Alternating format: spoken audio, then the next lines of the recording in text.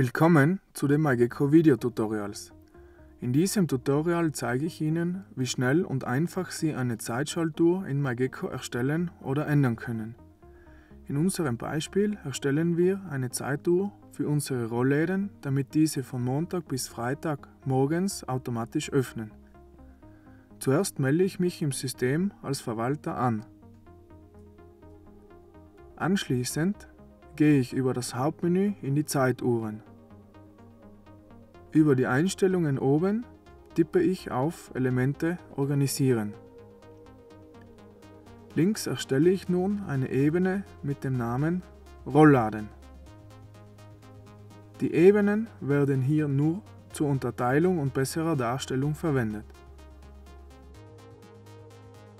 Anschließend erstelle ich meine gewünschte Zeituhr mit dem Namen Rollläden morgens auf und deaktiviere den Bearbeitungsmodus.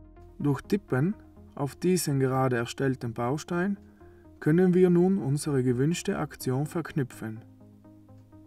Natürlich wäre es umständlich, jeden Rollladen einzeln auszuwählen, deshalb entscheide ich mich für die Gruppenauswahl und die Gruppe Alle. Die Gruppenzuweisung der Rollläden finden Sie im Menü der Rollläden in den Einstellungen. Abschließend tippe ich auf die verknüpfte Aktion, wähle den Befehl auf Aus, hinterlege meine gewünschte Startzeit, zum Beispiel 6.45 Uhr, und deaktiviere die Tage Samstag und Sonntag. Fertig.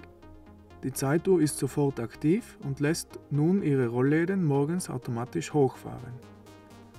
Sie können die Startzeit beliebig ändern oder können bei Bedarf die Uhr deaktivieren, indem Sie den Betriebsmodus auf Aus schalten.